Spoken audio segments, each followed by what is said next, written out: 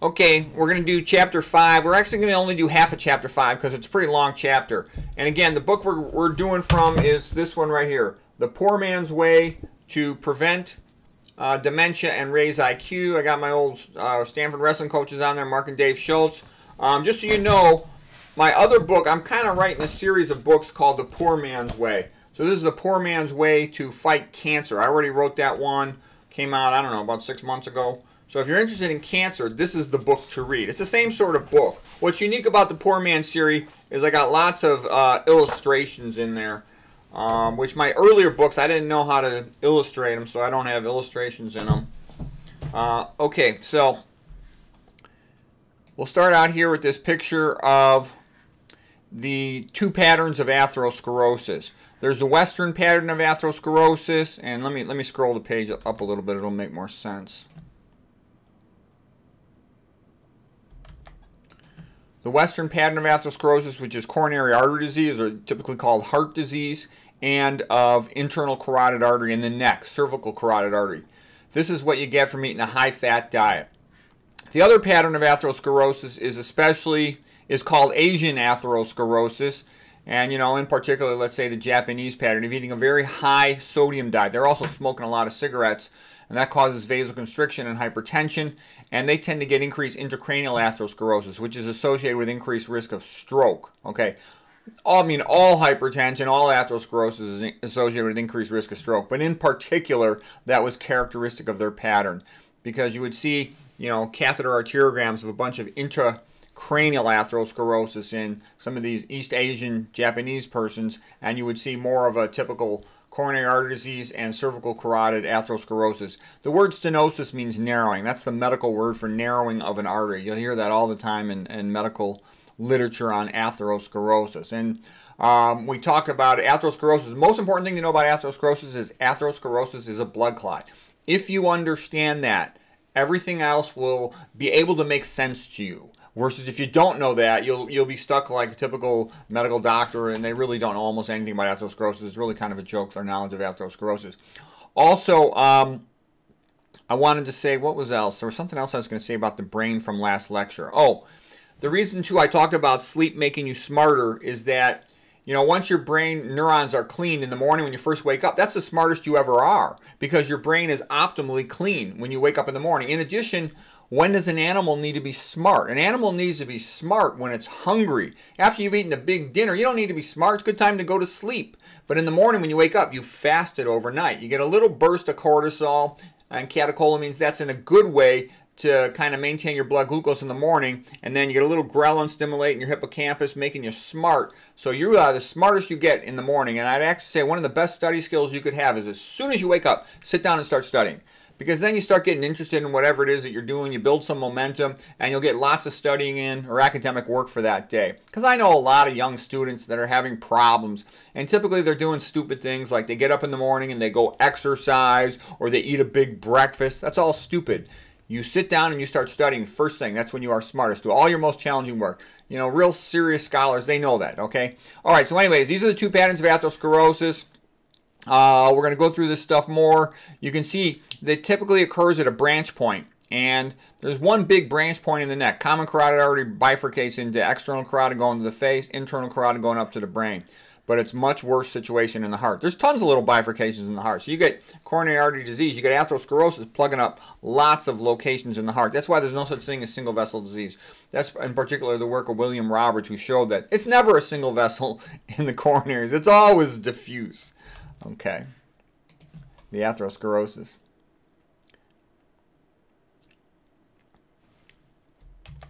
Okay, now we're going to show you just, you know, two graphs of blood pressure. So here's a normal blood pressure. Let's say it gets up to about 110 and the lower number is in the ballpark of about, you know, 70, 110 over 70. That'd be a pretty good normal blood pressure. The pulse pressure is subtracting the upper number, the first number here, 110 minus the lower number, 70. So this pulse pressure would be 40. Okay, that's a normal and a good pulse pressure. the, the difference between the systolic and the diastolic. So the number on top is systolic when the heart's contracting. The number on the bottom is diastolic when the heart is relaxing. Now here is a hypertensive patient. The systolic number is way too high at 200 and the diastolic number is too high at 100, okay? And this pulse pressure of 200 minus 100 is 100. That's a high pulse pressure. What's bad about a high pulse pressure is it tends to be damaging to the small arteries up in the brain. Okay, and over time, that hypertension causes atherosclerosis in the intracranial arteries, and you get those little small strokes in the uh, deep white matter of the brain, like I was showing before in the in the last lecture. Okay, in the, in the lecture, yeah, in the last lecture, chapter four. Okay, right now again we're in chapter five A. All right, so we'll talk some more about what's going on with high blood pressure and how that affects the brain. Oh, the best way to avoid high blood pressure is eat a low-fat, low-sodium diet. The fat makes the red blood cells stick together, and that makes the pressure have to go up in order to pump them through a capillary. Because the red blood cell is bigger than a capillary. Red blood cell is about five. I'm sorry, red blood cell is about seven microns in diameter. Capillary is about five microns in diameter. So it already has to deform itself to squeeze through. But when they're all stuck together because of the fat meal, then pressure has to go up more. Okay. Potassium, magnesium are vasodilators. You get those from plants. So are the nitrates that you get, like say, from eating the greens. Okay, so that's all good. All right, now we're going to talk about the Windkessel effect. Okay, so Windkessel effect relates to your ascending thoracic aorta. It has a bunch of elastic fibers. So when the heart contracts, that's called systole, it pumps blood into the ascending thoracic aorta. The ascending thoracic aorta is then pushed outward by the pressure of the cardiac contraction.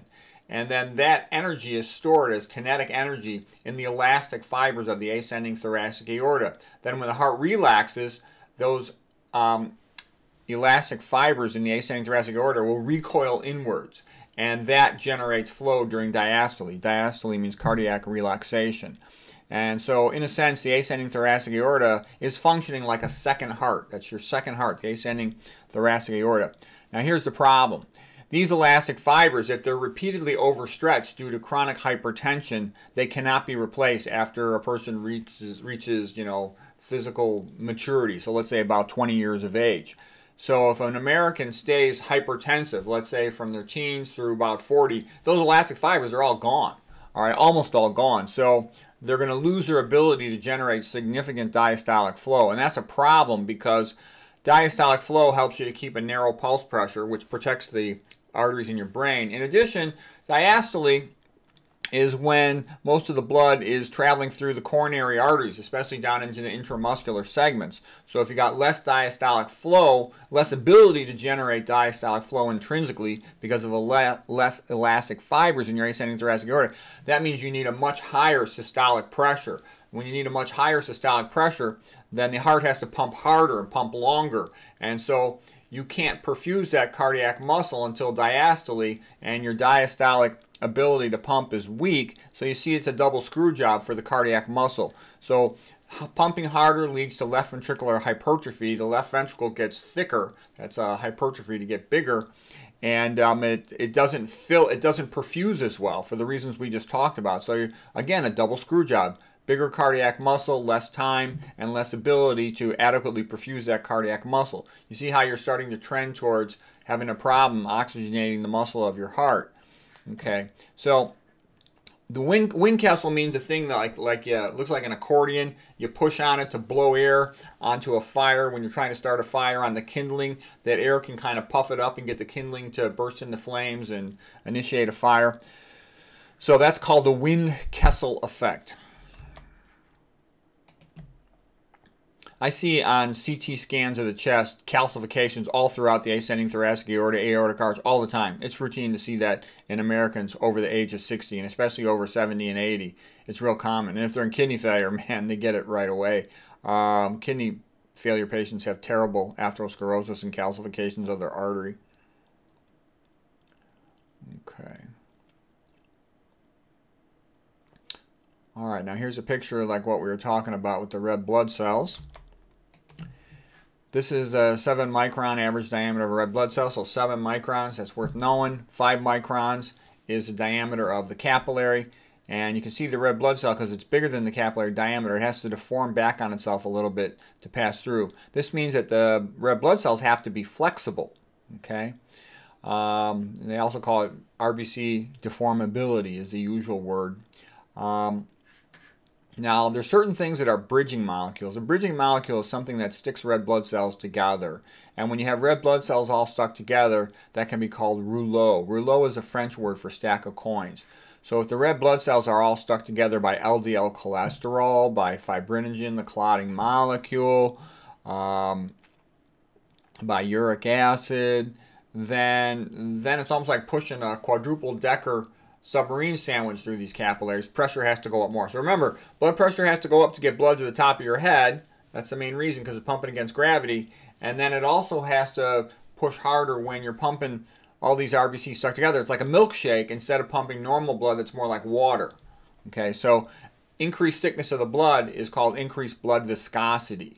And explaining atherosclerosis based on these principles of blood thickness um, and also with the idea that atherosclerosis is a blood clot, that is called atherothrombosis theory of atherosclerosis. And trust me, it's the best one by far. It, it, it, includes all the other concepts of atherosclerosis. They're all subsets of atherothrombosis theory.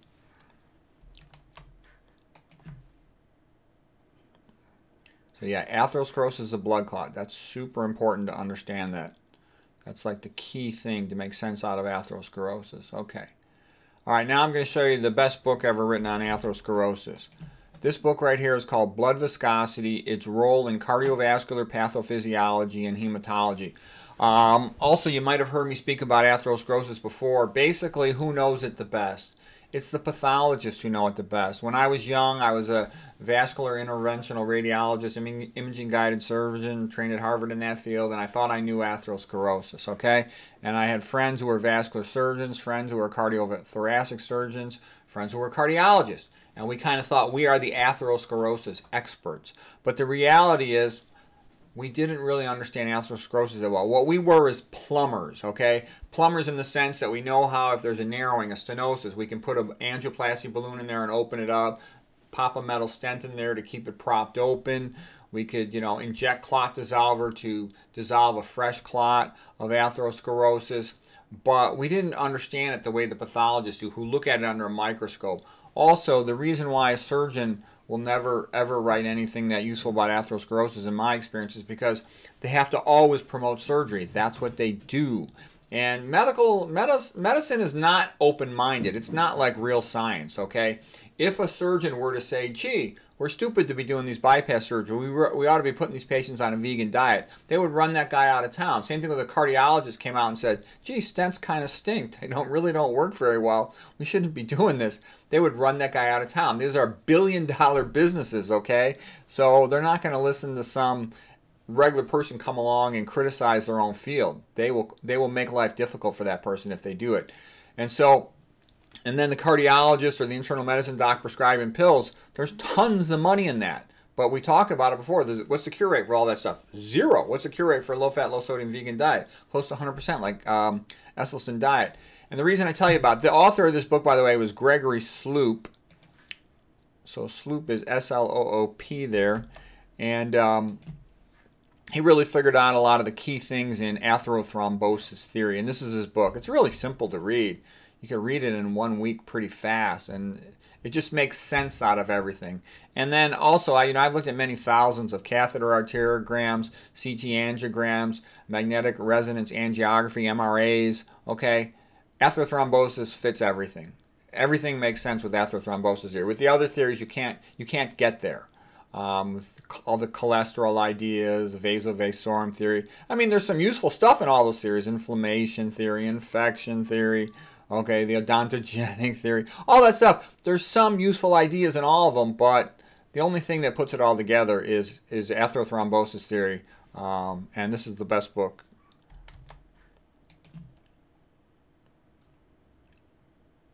I actually was so fascinated by the book, I called the guy up and I and I talked to him because uh, I wanted to make sure I understood everything, and um, I did.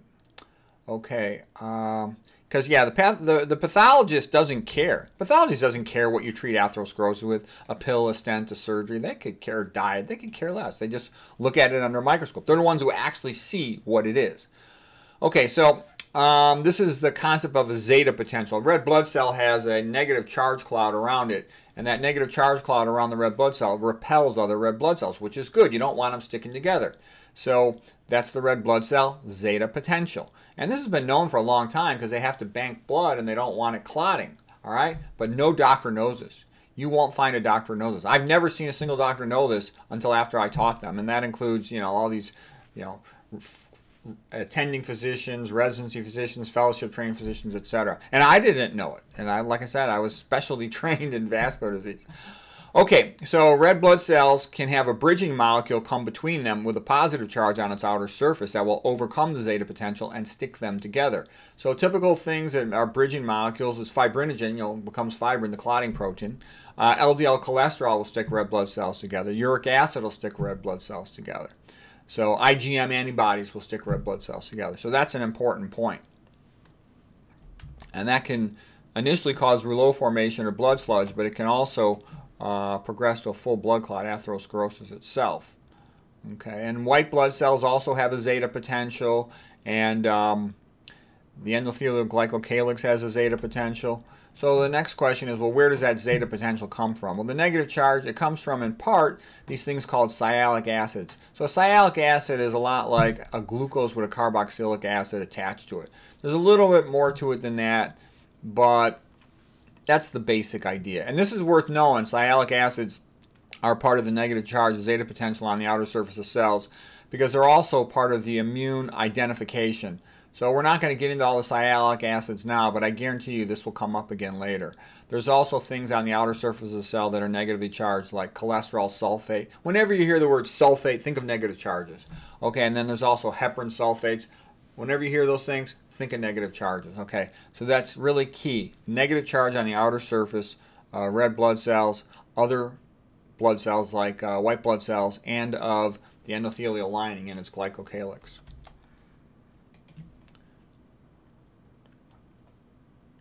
Okay, here's a movie that came from Dr. McDougall's YouTube channel, and it's called Blood Sludge, Blood Flow Before and After Eating a Fatty Meal. And um, this video is well worth your time to watch. You remember this the rest of your life. It's only about 50 seconds long. There's no there's no words. You just read the words on the screen. And this was a research project done by Roy Swank when he's looking in the cheek pouch like a hamster. And after it was fed a high-fat meal, all the blood cells sludge together. So they'll call that blood sludge. Okay, chylomicrons can stick the red blood cells together. Uh, LDL cholesterol stick the red blood cells together. They're all both examples of bridging molecules. Okay, and so I show you this because once all those red cells are stuck together, you get a decrease in oxygen and glucose delivered to the tissue by about 15 to 20 percent, and that's actually a very big deal because remember the Warburg effect, what transforms a cell into cancer is when you drop its oxygen delivery by about 35 percent or more. So you're already getting pretty close there, dropping 15 to 20 percent with the high-fat meal, and then you start superimposing things upon it like um, uh, sodium being a vasoconstrictor, lack of potassium and magnesium, more vasoconstricting, tightening of those arteries. Okay, and you can make the blood thick for other reasons because you're stressed out. You're going to keep on dropping that oxygen glucose delivery lower. Uh, you're sleep deprived. You're having caffeine. All of those things are making you more prothrombotic. Okay, and they're going to increase the likelihood you're not getting adequate oxygen delivery to your tissues, and that's a giant part of cancer causation. And that's why you know, even though the Japanese were smoking a lot of cigarettes and the, the Papua, Papua New Guinea, they had like six times less lung cancer than the Americans because the Americans were also were smoking plus eating a high-fat diet, and that combination of smoker-related hypoxia with the high-fat diet-related hypoxia uh, led them to get more cancer. So, anyways, it's a good meal. It's a good movie. Well worth your time. 50 seconds. You'll remember it the rest of your life. That's why you feel lousy after you when you were younger and you eat at a greasy spoon type of place. Roy Swank did tons of research on the effect of blood flow on tissue and the effect on the blood-brain barrier. In some hamster brains, he, he got even as much as a 35% uh, drop in blood flow to the brain in one uh, paper. Okay, uh, let's see. Okay, yeah, here's a picture showing you LDL cholesterol and its relationship to blood viscosity. The higher the LDL cholesterol, the higher the blood viscosity. And as far as cholesterol goes, the number you want to know is total cholesterol of 150. If patients keep their total cholesterol below 150, they almost never have a coronary event. And that's based on the Framingham study, the big study that came out of Boston, the Harvard study. And it's also based on, you know, the Esselstyn uh, research work. And if you eat low-fat vegan, you tend to have a really low total cholesterol. Mine usually bounces between 90 to 120. In T. Colin Campbell's book, The China Study, he had some provinces in China where they're eating, you know, close to a vegan diet and they're low-fat vegan diet and all that rice is 1% of calories from fat. And they had entire provinces where the average total cholesterol was around 93, okay? And you know, places like that, you'll have like no one dies from heart disease. Yeah, there was some study where they checked what percent of patients die from heart disease, and it was next to nothing out of thousands of patients. Okay. All right, a little bit about normal blood flow. So normal blood flow is what's called laminar. So laminar means that the velocity profile is kind of like my hand. The red blood cells are in the center, and then the white blood cells are adjacent to them, and then like my thumbs are where the plasma is. So you can see red right here in the center for red blood cells, then the blue arrow represents white blood cells. And then the uh, black arrow here represents plasma up against the glycocalyx of the endothelium, the lining cells of the artery are called the endothelium. Okay, and that's a normal velocity profile of blood. And that's what the endothelial cells expect to see most of the time.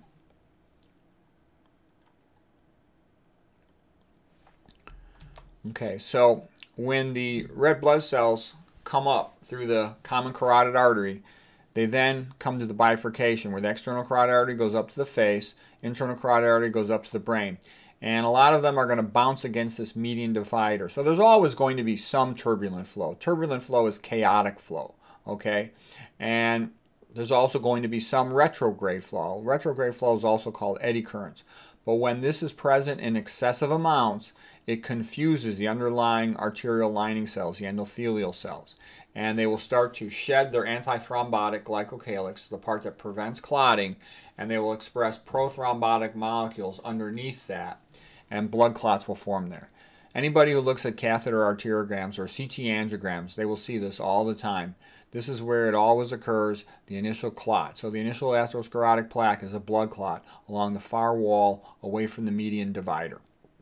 And you'll then have circulating endothelial precursor cells that come along and cover it up. That's how the clot gets subendothelial. That's worth knowing as well.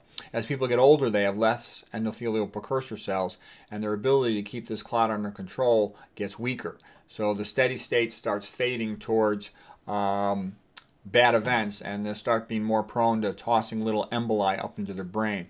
I can tell you, I often see little tiny pieces of calcium in the brain in the arteries along the cerebral convexities due to, they call them atheroemboli. Emboli is when a particle breaks off and moves distal. Athero because it comes from atherosclerosis. So there's an atheroembolus distally. Okay.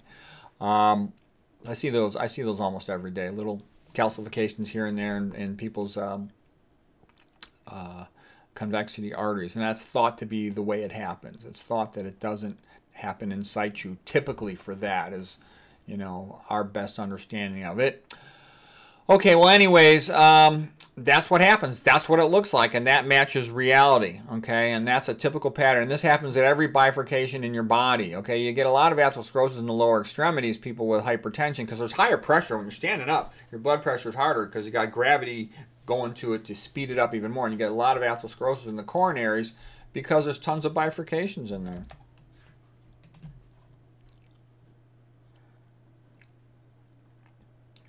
Okay, here's normal endothelial cells. And in a normal endothelial cell, the most important thing to know is the nitric oxide. So the endothelial cell produces nitric oxide, and it's a gas, so it diffuses out of the cell. It diffuses into the arterial lumen, the center of the lumen where the blood flows, and it acts upon the platelets to make them not clot. It makes them, so it has an antithrombotic effect, okay? And then it diffuses back into the arterial wall, and this orange stuff here is kind of not fully shown on the straw in here. I can make it show. One sec. It goes into the vascular smooth muscle cells here and it causes them to relax so that if, if they wrap around the cell and if they contract the, the diameter of the lumen of the artery gets smaller. So when nitric oxide comes back, it makes them relax. Now there's other things that the endothelial cells do. One in particular that is worth knowing is they have these heparan sulfates negatively charged on their glycocalyx, the, the proteins extending upward from the cell, kind of like little trees on a hill is the way you can think of them. And they combine with something called antithrombin 3, and both the negative charge and the antithrombin 3 are very anti-thrombotic. They help prevent clotting. Okay, and there's other things endothelial cells do, but we're not going to get into all of that now. The most important thing is to know this nitric oxide. You have to know that. That's a very big deal. And the reason too, one thing is I went to the Caldwell Esselstyn, you know, course, uh, training course many years ago, and he was talking and he's telling the audience nitric oxide this, nitric oxide that, nitric oxide this, and I'm like, well, hey, what about this? What about this? What about this? And he's like, we'll get to that later. We'll get to that later. We'll get to that later. And he came over and he talked to me uh, afterwards, later, and he said, Pete, I know you mean well, but we can't get into all that stuff. He says, if you go into too much detail, the only thing that happens is you confuse people. And if they're confused, they won't be successful with the diet. He says, for people to be successful, they have to understand nitric oxide. If they get nitric oxide, they'll follow the diet and they'll get a good result. And if they don't, they won't. Okay? And I kind of laugh because there's a stereotype in medicine that surgeons just all they care about is results. They don't care about the details. Okay, that's sort of very typical of a surgeon. And Esselstyn, he got the he got the results. He deserves a Nobel Prize. That guy, but that that's kind of an old joke. You know, the surgeon they call him sawbones and stuff, and they tease them that they're not that intellectual in comparison with an internal medicine doctor. Internal medicine doctor, quite often they'll spend the whole conference debating the subtleties of some little minor point. And the surgeons mock the internist, you know, calling them the fleas because they're always drawing blood like a flea and you know call them analysis paralysis or mental masturbation. That's the joke about internal medicine type fields. Those are sort of like the two main areas of medicine are internal medicine based and surgical based. There's other areas, of course, but those are the two big ones. Okay, here's this word. You need to know this word. It's going to come up more. Um, glycocalyx. So glyco kind of means sugar, but when we say sugar in this context, we mean like a structural sugar. Uh, and structural sugars can do things. There's nothing to do with dietary eating a sugar. Um, calyx means like a coating. So glycocalyx means like sugar coating on the outer part of a cell. And what it really relates to is the zeta potential. When I hear the word glycocalyx, I'm thinking zeta potential. And we talked about the glycocalyx negative charge. Zeta potential is made by its sialic acids, its heparan sulfates, and its cholesterol sulfates.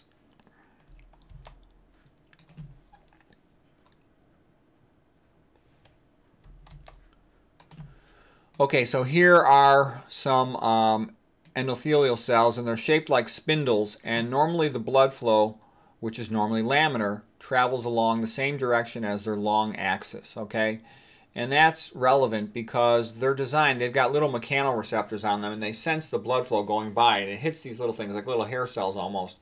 And when they feel laminar flow going by, they're happy. That causes them to keep releasing more nitric oxide. Everything is good, copacetic, okay? But if they have an excessive amount of turbulent flow, it, it confuses them. Is there a, a, vascular injury at this point? Okay, if there's a lot of retrograde flow going backwards, it confuses the mechanoreceptors. All right, and they'll start to shed the outer glycocalyx, the antithrombotic stuff, and the, underneath it will be these prothrombotic molecules like VCAM and whatnot that are now exposed and can cause binding with white blood cells and red blood cells, and you don't want that. Okay, typical red blood cell lives about 120 days and then it goes to the spleen. The spleen is the graveyard for red blood cells. Okay, when a red blood cell is younger, first comes out of the bone marrow, it's more flexible, more deformable. Okay, um, as it gets older, it becomes stiffer, less able to deform itself to pass through the capillaries. And that's also why um, women live longer than men because a woman's menstruating. So every month she's lowering her uh, hematocrit, the amount, the percentage of red blood cells she has in her blood. And by lowering that hematocrit, that makes her blood thinner, more like water, less like a milkshake, so that lowers her blood pressure. In addition, new red blood cells replace the old ones that were lost from menstruation, come out of the bone marrow. They're fresher, they're younger, they're more deformable, more flexible. That also lowers blood pressure, and that's why women live longer. They get less hypertension, therefore they get less strokes. Okay. Um, and they get less intracranial atherosclerosis. But then when they're postmenopausal, they lose that benefit. Oh, another thing that causes red blood cells to become stiffer with time is the phospholipid of, of the plasma membrane and you know along the outer surface of the red blood cell. One of them, real important ones, called phosphatidylserine. I abbreviate it PS. The PS starts moving from the inner leaflet of the plasma membrane to the outer leaflet. That's called uh, externalization. So phosphatidylserine externalization causes stiffening of the red blood cell uh, plasma membranes, and that makes them less deformable. And in the in the spleen, the capillaries are about three microns. So the spleen will remove the older red blood cells because they're not deformable enough. It's like doing the limbo, going underneath the limbo to get under to get through these three micron capillaries. So that's how the spleen removes um, the old red blood cells. Okay, this is a picture showing you phosphatidylserine externalization. So what's happening here is, here is the phospholipids. So the blue is for the phosphate. These are the fatty acid tails. You have a glycerol backbone in there, and there's like, you know, three carbons on the glycerol. And so one goes for the phospholipid, the blue thing, one goes for this fatty acid, and one goes for the other fatty acid. So that, you know, explains the, the connections of the three uh, glycerol carbons. Okay, so anyways, these red things are the phosphatidylserines. As the, and this is the cytoplasm in here, here's the external uh, world. And what happens is with time, more of these phosphatidylserine phospholipids, they flip the red ones into the outer leaflet of the plasma membrane of the red blood cells, and this makes it stiffer. So phosphatidylserine externalization is another way that red cells become stiffer as they age. Red blood cells normally are very deformable. They're incredibly deformable. That's why they work so well. And that's why women live longer, because they menstruate, and it's essentially a therapeutic phlebotomy. What I've seen is a lot of women, if they get a hysterectomy, man, they have much worse outcomes than they would expect.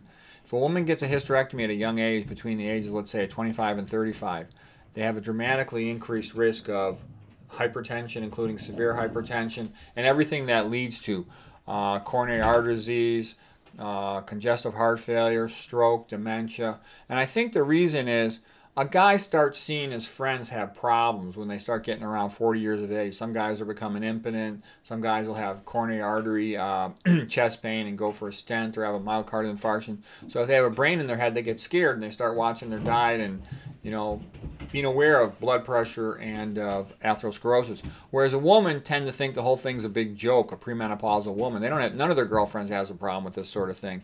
So if they get a hysterectomy, they still think they're like all the other girls, all the other ladies, but they're not. Now they've now assumed the same risks as a man does. They're going to be iron overloaded. They're not going to menstruate. They don't get that protective effect. So a lot of them become severely hypertension, hypertensive. They never get a check by a doctor, and then they show up at an early age, you know, being demented or having, you know, congestive heart failure or myocardial infarction and things like that. So whenever I see a demented brain on a young female, when I say young, I mean, let's say, you know, 60 years of age or less, I first look for all the usual suspects, you know. And if I don't find it being a typical thing, uh, you know, she's not a smoker, she's not an alcoholic, she's not a drug addict, um, then I always go checking in her post-surgical history, and I very often find she had a hysterectomy at a young age. Most common reason for the hysterectomy is because of fibroids. Okay, now we're going to talk a little bit about how a glycocalyx is made. A glycocalyx comes up a lot, so it's good to have an idea of it. Here's the endothelial cell. It means arterial lining cell. It's plasma membranes. It's always a phospholipid bilayer.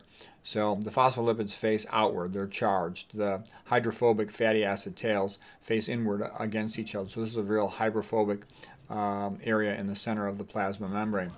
Okay, then you got these core proteins that stick up out of the plasma membrane of the red blood cell and of other cells, okay? And they're typically called a proteoglycan, okay? Proteo for protein, glycan for a sugar component that's going to be added to them. All right, and then you can have repeating disaccharides. All you need to know is these are things like heparan sulfates, okay? And um, these have a lot of negative charges on them from all the sulfates and these will attract water because water is polar. You know, it's got a slight positive charge on the hydrogens. Water is H2O, so there's two hydrogens, one oxygen, and a slight negative charge on the oxygen. So the positively charged part of the water molecule will be attracted to the negatively charged sulfates of the glycocalyx. And you ever heard the expression slippery when wet? Well, that's why it works this way, because it makes the endothelial glycocalyx very slippery so the red blood cells can slide through there, which you need that to be that way because, again, the red blood cell is bigger than the, um, than the diameter of the capillary. Of course, it's folded back on itself to pass through, but it's also the case that this glycocalyx is quite slippery. And when you think about it, there's about 99 red blood cells for every white blood cells. But the white blood cells are even bigger. They're even like twice as big as the red blood cells, like 14 uh, microns in diameter. So it's much more difficult to push them through a capillary as well. So they really benefit from this super duper slippery surface from all the water attached to these uh, negatively charged um, sulfates, sialic acids. Okay, and cholesterol sulfates are in there as well. So anyways, that's how a glycocalyx works. You got this, this core protein with heparan sulfates attached to it, tons of negative charge for a zeta potential. Okay. Um, here's an example of a sulfate with a double negative charge on it. All right. And here's the water dipole. Dipole is like means a, a, a partial charge.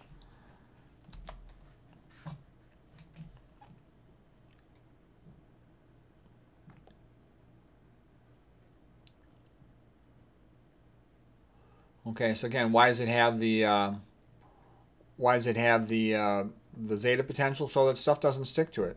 And they got the same thing in the in the cartilage of the joints. You've also got, you know, uh, a lot of zeta potential going on, and you got water attracted to the negatively charged uh, proteoglycans of the glycocalyx, and you know here they are, but they're born they're they're attached this time, let's say, to a hyaluronic acid. It's sort of like the base connector protein, and that's how it all works. So.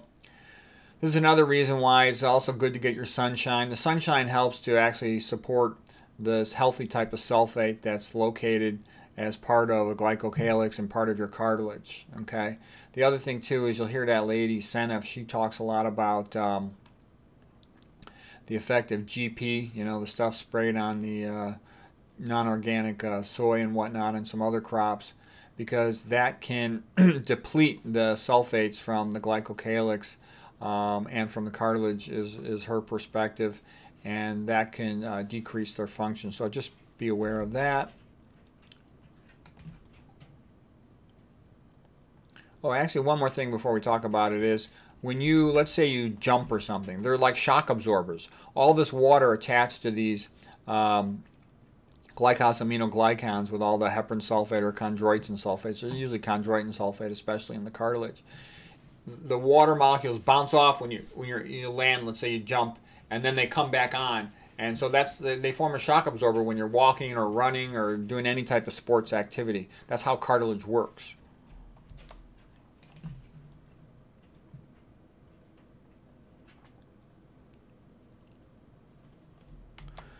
Okay, here is um, a plasma membrane of a neuron. So neurons are your brain cells. They'll have an inner charge inside the cell of about negative 65 millivolts, okay? And they have these potas potassium sodium pumps that pump more sodium out, three sodiums for every two potassium pumped in. That's how they generate this negative charge. And that's like a battery. You have a charge separator, and then you have charge accumulation, and then you have charges traveling when the ions, a positively charged molecule is called an ion. And so later on, when you open up a channel and rapidly let a charge through, that creates a current. And that's how cells do their work. So this negative negative charge here is an electrical gradient. Because you build up a high concentration of sodium outside the cell, you then have a chemical gradient, a concentration gradient.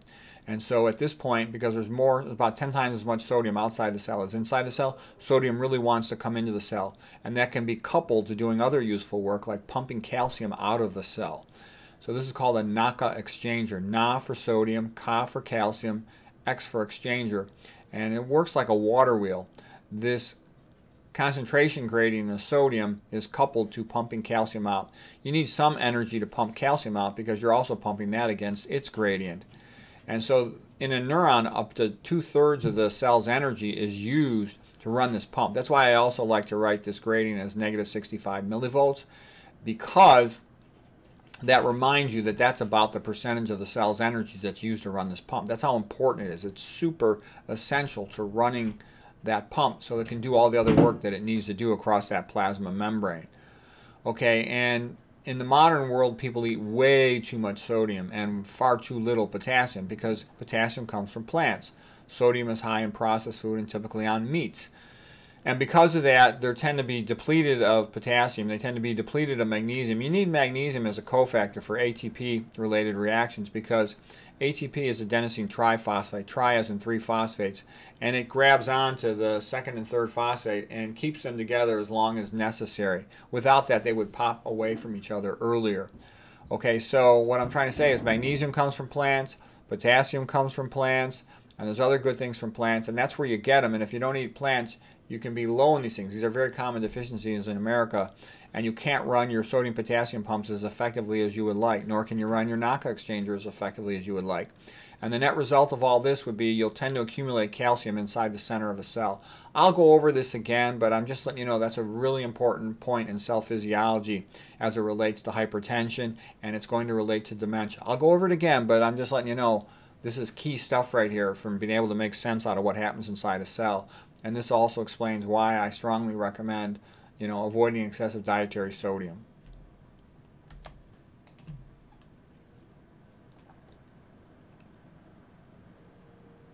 Humans are designed to eat a lot more um, sodium, I'm sorry, a lot more potassium than sodium because we're designed to eat plants.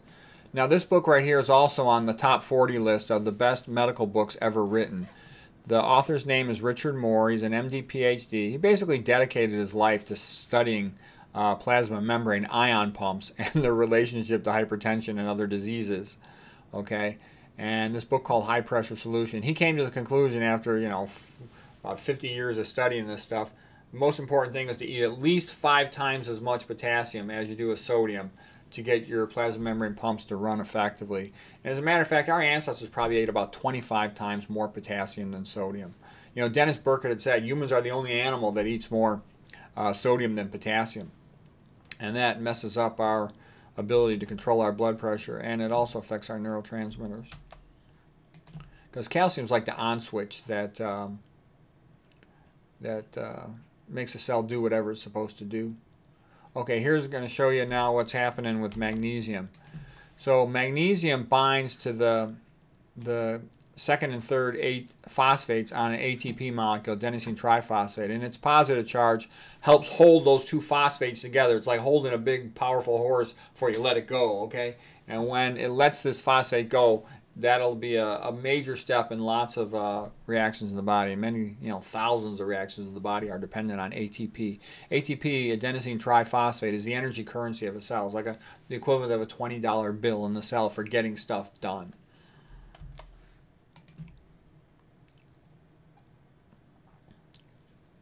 Okay, so then the next question is, where does magnesium come from? And here's where magnesium comes from. Magnesium comes from chlorophyll. It's in the center of chlorophyll. So it is basic to the nature of a plant to have magnesium, all right, from its chlorophyll. That's just sort of a fundamental thing about a plant, all right?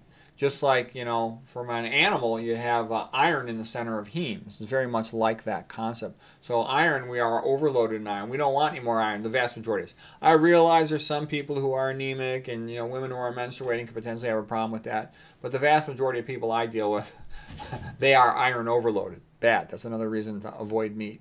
And most people, most common deficiency in America are fiber, potassium, um, and uh, magnesium, and that's from eating plants, okay? And nitrates from eating plants, okay? And antioxidants from eating plants. So if you eat the plants, you get what you need, okay? Uh, oh, this quote here was from 1 Peter chapter 4, verse 8. Above all, love each other deeply, for love covers over a multitude of sins. Offer hospitality to each other. Use whatever gift you have received to help others. And I say that, you know, as a metaphor and sort of a joke, is that if you just eat the plants, all kinds of good things just happen. You don't really need to think that much. A lot of these, you know, blue zone people, the longest lived people in the world, they live in, you know, bum, you know, podunk, okay? And they're not scholars. They don't know anything about nutrition. They just eat the local plant foods. So you don't have to be a genius. You don't have to be a scholar. Just eat the low fat plant foods, and good health follows.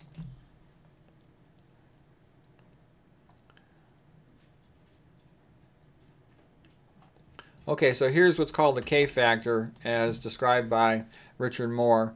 And uh, so basically he says you got to keep your K factor, which means ratio of potassium to sodium, at least 5 to 1. At least 5 to 1 to have a decent blood pressure. Okay, and again, it's very easy if you eat a plant-based diet to be 10 to 1, 20 to 1, way up there because a lot of plant foods will have 100 times more potassium than sodium.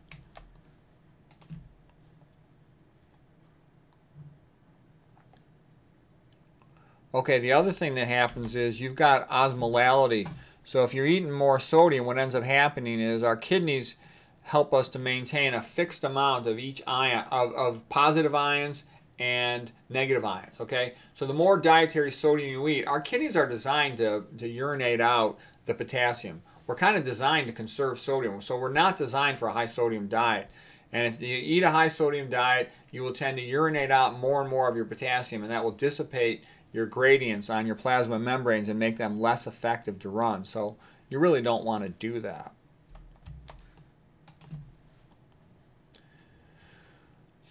Psychological stress causes you to piss out more of your magnesium, so then you're also losing that magnesium and you need them both.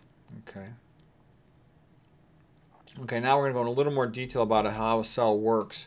Um, this right here is the um, plasma membrane of a cell and a neuron. And here's the same pump we just talked about, the potassium sodium ATPase. So it's called potassium because it brings potassium in, sodium because it pumps sodium out, ATPase because it uses an ATP for energy to carry out this pumping job. That establishes a negative charge inside the cell, the electrical gradient, and because you're pumping more sodium out than this in, sodium is accumulating outside the cell, so that's a chemical gradient, a chemical concentration gradient. Together, this chemical concentration gradient with this electrical gradient are called electrochemical gradient. And this means that sodium, which is now 10 times higher outside the cell than inside the cell, 140 versus 14, really wants to get into that cell. So if you allow some sodium to come into the cell, that generates energy because it's coming down its electrochemical gradient, and that can be coupled to other work like pumping calcium out of the cell. Calcium has a very high concentration outside the cell, and you're pumping against that gradient, so you need energy to be able to do it. Calcium is the, the like a light switch. It turns cells on to make them do whatever they do. So a neuron releases its neurotransmitter when calcium in the cytoplasm goes high. If you were a muscle cell, you would contract. If you were a beta a beta cell in the pancreas, you release your insulin. So calcium coming up is a real important concept in cell physiology. You know, the old joke like Lord of the Rings, one ring to control them all, one ion to control everything. It's like the boss aristocrat says, do this now, okay? All the potassium and sodium, they're like they're like worker ions, okay? He's doing as they're told, the manual laborers. All right, so big deal. When calcium concentration goes up in the cytoplasm of the cell, its neurotransmitters released. Like glutamate's the most common neurotransmitter in the brain. Okay, and that's going to become really important for understanding the brain. Okay, um, let's see. We talked a little bit about the ion pumps. We don't need to get into this too much, but there's there's two major ion pumps. There's the NCX, the NACA exchanger. We talked about that. That one's super fast. Okay, um, the PMCA plasma membrane calcium ATPase, that's slower and that runs more continuously and that's in every single cell. Whereas a NACA exchanger is especially important in things like neurons and muscles where you have to pump calcium very quickly. And we talked about how the concentration of calcium is really high outside the cell, 10 to 1 compared to inside the cell. With potassium, it's just the opposite. It's about 10 to 1 in the other direction, much higher intracellular.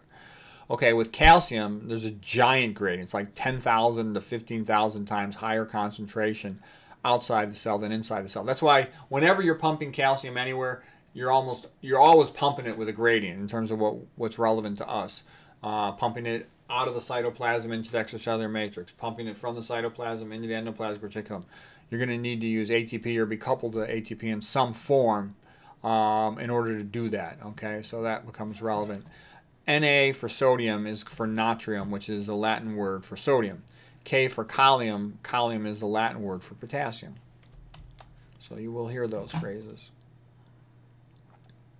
Okay, we're going to stop at this point and we're going to call that chapter 5a. Uh, tomorrow I'll do, you know, the second part of this chapter. We'll call that 5b. So I hope that was interesting and helpful to you. And the key point was the fact that, you know, everything that cell does depends on that plasma membrane electrochemical gradient. That's why sodium and potassium are so important, and we're designed to eat uh, lots of plant foods to have a lot more potassium available to optimally run those gradients, and that'll also give us our magnesium. And we want to keep our or sodium low. So it's more of a ratio than anything else. So, um, and that's how a cell does its work, and that's how a cell prevents hypertension. And when you have high sodium and low potassium and magnesium, then you get hypertensive because the cell stays chronically contracted because its cytoplasm calcium is high, the vascular smooth muscle. So, anyways, I uh, hope that was helpful.